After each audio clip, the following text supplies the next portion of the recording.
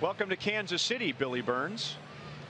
I'm assuming he didn't have one of those land on his hat in Oakland.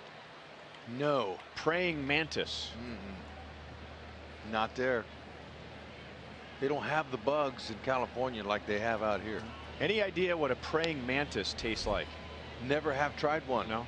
But we all know about the June bug that tasted like bacon. Now, if if if you'd know that that would taste like bacon, if there was a dare and he had a chance to make some money, he might try to chew him up. But I heard that they could be an endangered insect.